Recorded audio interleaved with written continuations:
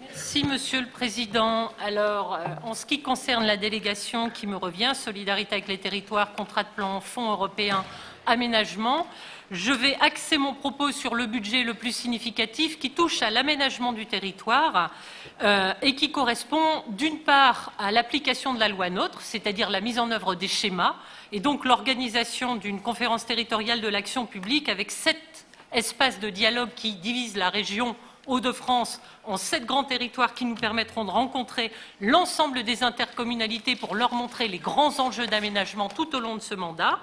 Et pour mettre en œuvre les politiques territoriales, trois dispositifs intégrés, trois étages, trois échelles territoriales avec trois fonds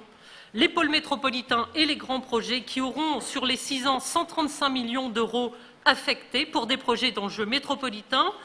avec 25 millions cette année, L'aménagement régional, ce sont des projets d'agglos structurants et des projets périurbains et ruraux qui bénéficieront sur ces six ans de 160 millions de crédits d'intervention. La revitalisation rurale, pour les territoires ruraux les plus en difficulté, 30 millions sur six ans, soit 59 millions d'euros pour cette année en investissement. Le pendant, c'est une ingénierie d'appui aux porteurs de projets, pôles métropolitains, territoires ruraux une ingénierie au service des grands équipements, des grands outils d'accompagnement, mission bassin minier, agence d'urbanisme, et enfin les parcs naturels régionaux et espaces naturels régionaux, qui, eux, bénéficient, vous le savez, d'une enveloppe euh, qui a déjà été préaffectée en 2015 à hauteur de 9 millions et en 2016 2 millions supplémentaires. Toutes les modalités d'utilisation de ces fonds territoriaux seront présentées en investissement et en ingénierie lors de deux délibérations spécifiques de la,